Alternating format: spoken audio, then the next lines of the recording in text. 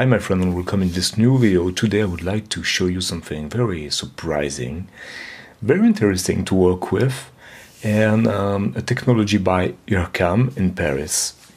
It's a suite of plugins. It actually is two plugins named Dicy and it's um, technology that use machine learning to analyze sounds and the idea uh, behind this plugin, one of the uh, of the idea behind this plugin, is to improvise with your own instrument or your voice or anything with a sound you pre-recorded and analyze. We can go on screen now, the Dicy plugin, and you can see you have an analyze part here and a synthesize part here.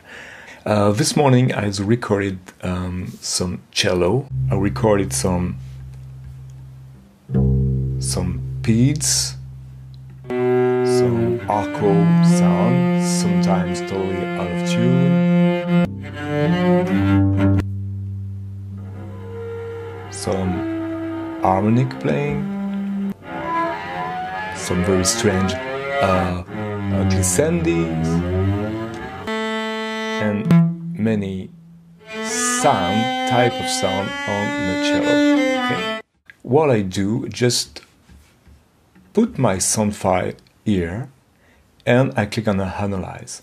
And what Dicy, uh, Dicy um, does actually, it, it analyzes sounds um, around uh, several criteria, um, uh, several um, what they call it um, descriptors, and it could be pitch class. I think you can see here uh, timbre, duration, harmonic colors, um, timbre. If it, you can have two descriptors.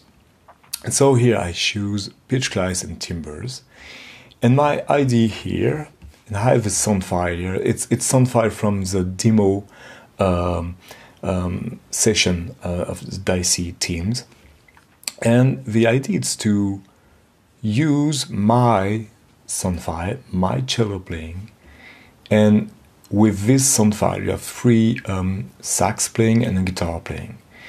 And the idea is to the sound file I will play here will in a way improvise with my cello playing.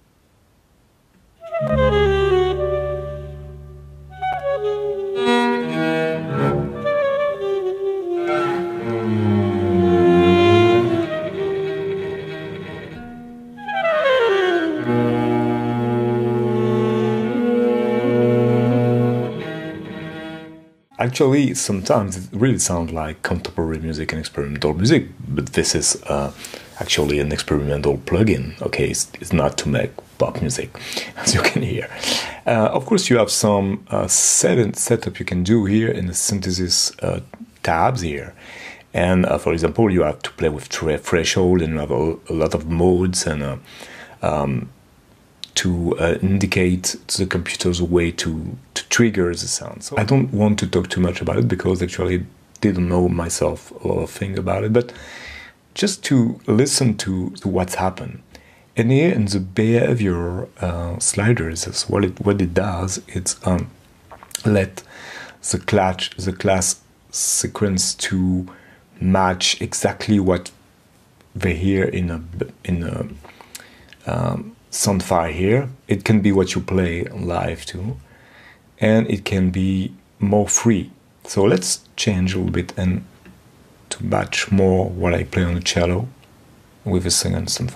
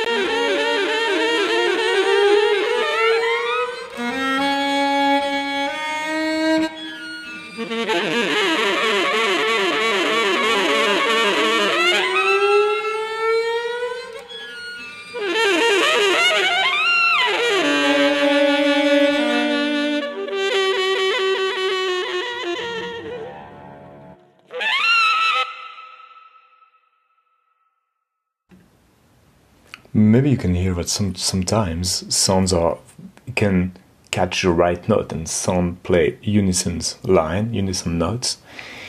And sometimes, of course, it, it can't find anything because when I play, when I record the cello part, I of course I don't think about what the sax in this case we will play. It's really in a you, you really need to think it as improvisation, and you play with someone and you didn't know what it will do actually. So let's try with a third sax um, phrase here, sax recording.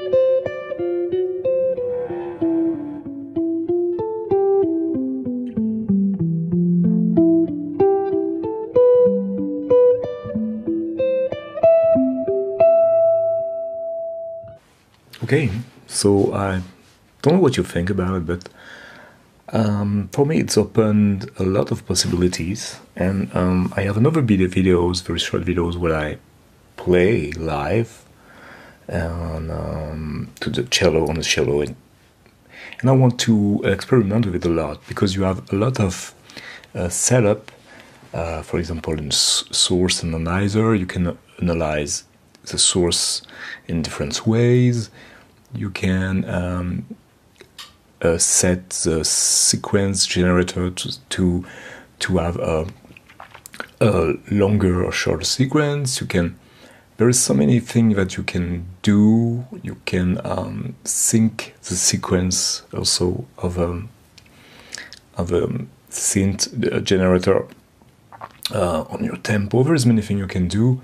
You can reverse the sound. There is a lot of um, application uh, around this technology, but I like the way to um, improvise with computer, improvise with over sound file that I, oh, let's say, but I like the way to improvise with over sound files, but it can be any sound files, and I think can experiment with any sounds and see uh, the results. And it's uh, it's for me because I really love improvisation for this kind of project. Uh, it's really fun for me, and uh, I don't know what you think about. That. I don't know what you think about this thing. This thing, it's uh, it's uh, for me, it's very surprising and it's passionate, and uh, I don't know. I like it a lot. I like it. I'm very enthusiastic about it. So, Thank you very much for watching, my friend. Don't forget to subscribe and hit the bells and everything. And see you in the next one. Bye.